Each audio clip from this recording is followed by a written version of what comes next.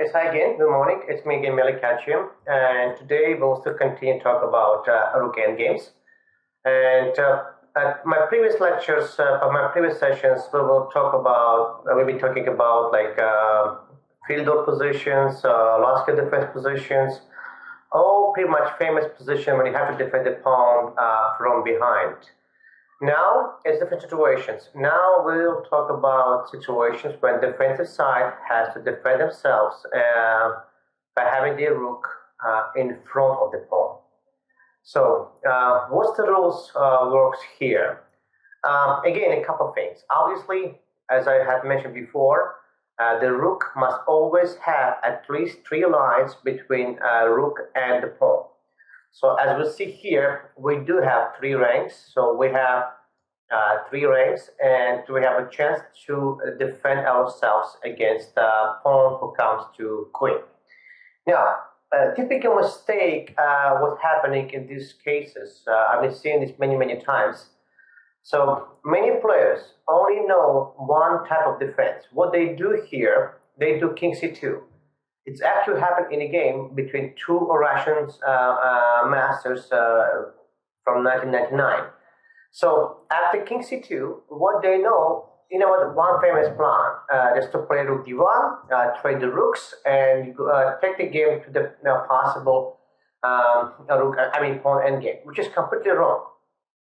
One thing you have to know here, it's very simple well, first of all, right here, um, the way how you're supposed to make a draw is to make a check because we have a three lines, as I said, and it's good enough for me to attack the king since king has no progress.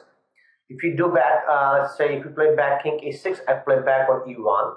So if you try to improve position by playing king g4, make some possible progress, I still attack your pawn, and now uh, you must play, let's say, king f4, then another check from f1, and right here, and when you go back and say, when you try to play king g3 to make, let's say, last kind of progress, then rook e1, uh, forcing you to play a rook d5, and now we have uh, king c4, attacking the rook and pretty much forcing ourselves to get an easy draw. Because if you look, uh, let's say, last control of d file, my king could simply join by playing king d3, and my king and my rook will both attack the pawn and will be no progress from black side and will be simply draw. So that means in original position, white supposed to play rook f1. Now, check this out. So white, again, you didn't know that. They played here king c2, which is a mistake. And, um, I mean, didn't play king c2, but many people do the same thing, same mistakes. White played here rook h1. Now, now second mistake came from black. First of all, they didn't play here e4. Again, if you have a two file difference, then it's simple win. After playing e4, I mean, it's simple win for black because we have now two files, I mean, two ranks, I'm sorry, two ranks, not of two files, and that's not going to be enough for white to defend. Because if you see from frontal attack, uh, uh, from in front, it's two, uh, two ranks, from the sides, it's still two, uh, I mean, two files now, because if you try to attack uh, from sides, we'll still have a G file and F file only. That means it's not going to be enough for white to defend this position. It's a simple loss. So rook h1 was terrible move as well as a reaction from black side. They haven't played here e4 for I don't know what reason. They played king e6. I guess uh, they were trying to defend themselves uh, maybe by using the e pawn as a as a shield, but it's um it's completely wrong. Now, white figured out their mistake and they play immediately back on e1, which is right move. So black holding uh, d8, and now typical mistakes which pretty much appear the same position as from the beginning. Only difference is the black rook uh, from d7 moved to d8. And now that's the mistake I would like to uh, pay your attention right here, right now.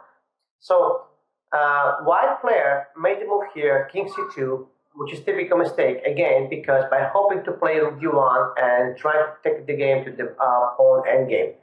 Now, what you have to understand, in situation when you're having your rook in front of the pawn, uh, by having three ranks differential, and let's say your king is cut by one file only, the best position for defensive king is always to stay on the third and the fourth rank.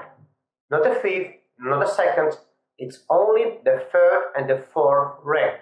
That's the law. Reason? Because you're trying to always uh, keep your eye on d5 square at this point to make sure the rook will not have playing rook d5 to defend the pawn and the king will be free to march and support the pawn to be promoted. That's the law. That's the law you must simply memorize forever.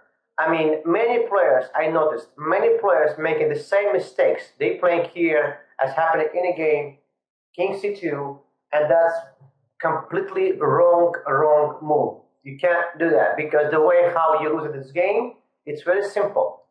King f5, I'm trying to uh, simply improve my king. And as soon as I reach, let's say, g3 square, when you have rook e1 done, then we have simply a rook d5. And that's the move which kills you. Because now, imagine if your king would be here on the third rank, you would have a move king c4. Since your king at the second rank, you're in trouble because uh, if you try to advance your king, and let's say hoping for this streak, then we have rook d4 check, and now my rook is defended, and I will simply pick up the rook for free. And since you don't, you don't have a move king c4, you lost because uh, whatever you do, let's say if you play, uh, I don't know, king c3, king f2, let's say you play rook e4, then I play king f3, uh, same problem because you have to go back on e1 and after e4, as I mentioned before, now we have just two ranks and it's not going to be enough for white to defend this position. That's again typical mistake uh, what's happening here with many many players because they don't understand uh, how to defend properly this position. They have no clue. Again, keep your king on the third and the fourth rank in situation when your rook has to defend position uh, from in front and when your king just cut by one file only. Now, uh, to continue this lecture a little bit, I would put the position, let's say from either position, if we try to, let's say, half position uh, by having our king cut by two files, let me clear this board, um, and I'll show you something else. Uh, let's say if we have one here, clear this board. Put the king, for instance, uh, rook on e1, uh, king on b3, um, pretty much the same position, very similar, I would say, uh, but only difference with uh, now we having two files uh, cut.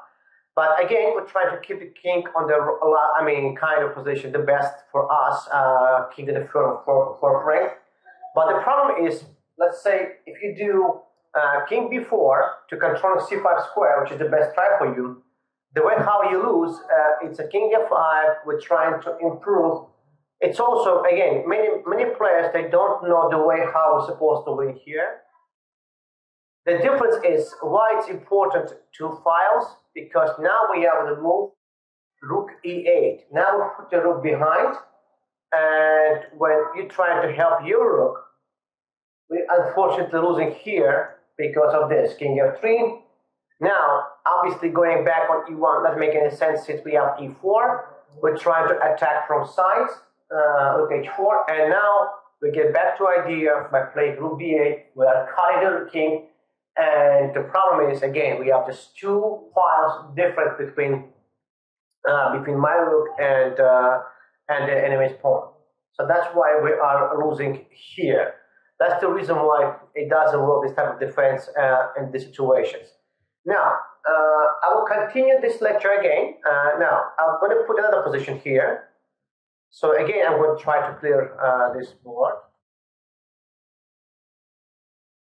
So again, two grandmasters. Uh, well, we all know who was Robert Fischer. Uh, now, the Sherwin, uh, I'm not sure who was Sherwin exactly, but I'm sure he was another grandmaster because um, the game has been uh, appear in uh, in the zone tournament, like I said, in back to 1958. So right here, where black's turn,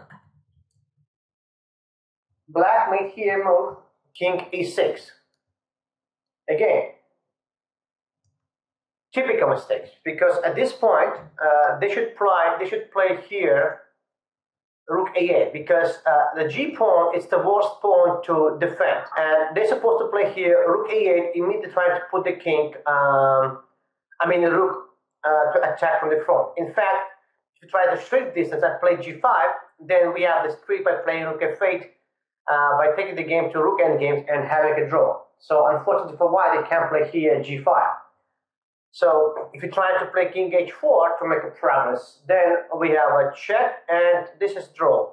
Because uh, again, there is no progress uh, for, for white right here. So black, again, I, am not going to say uh, if they knew or they don't, didn't know. So they played here king e6. I, I guess they, they knew maybe positions uh, how to keep the king um, on the third or fourth rank, but this is a different situation. It's not um, as we discussed in previous positions. So after king h6, king h4, rook a8, g5. Now the problem is I don't have rook f8 move, and now my king simply cut, and now it's a loss because after rook h8 check, now we're simply losing here because my pawn is too advanced and uh, that's a trick which, uh, guys, you're supposed to know. It's rook f5.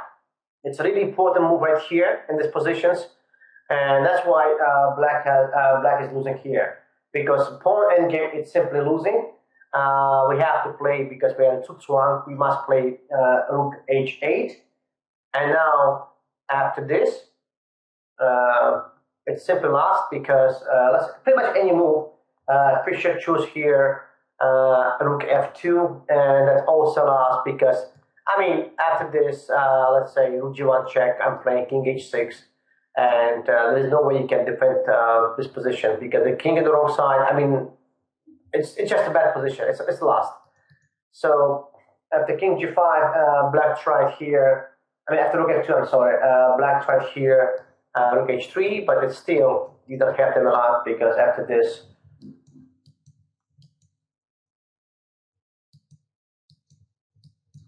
we are simply winning by building the, the bridge and winning the game.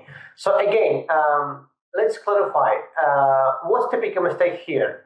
Uh, again, in this case, when you are uh, playing against knight pawn, against the G or B pawn, and your king caught uh, in, in the middle of the board on E file at this point, right? So the way how he's supposed to play, how he's supposed to defend, quickly play here rook A8, so making sure you have still uh, three ranks between your rook and the pawn, and also threatening to play here uh, rook f8.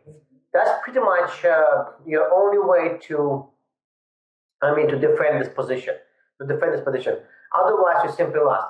Obviously, I would say if we would put the uh, white king uh, in the, uh, let's say, in the original position um, on h4, I would say actually this is not, it's not defendable because if you put the king on h4, then uh, I think it's, uh, I know, I think it's defendable. Let's say king on h4, rook a8, uh, it's still a threat is to play rook f8, and it's still uh, it's still uh, pretty much the idea to make a to make a draw.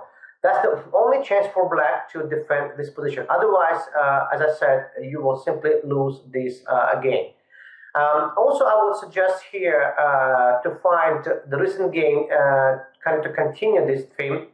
It's actually a very interesting game. I think I saw it in this year uh, from Turkey a World Championship, Team World Championship between um, between Indian Grandmaster um, uh, against uh, Levon Aronian. It was a really interesting uh, end game uh, again versus G pawn and Aronian actually also made a few mistakes and he lost this uh, pretty much theoretical position. So it's important for you guys to understand the principles, how you're supposed to defend these uh, positions and not making uh, mistakes in the future. Well, um, I hope you understood and we'll continue to talk about um, common mistakes uh, in Rook endgames in our uh, future lectures. Uh, thank you and have a nice day.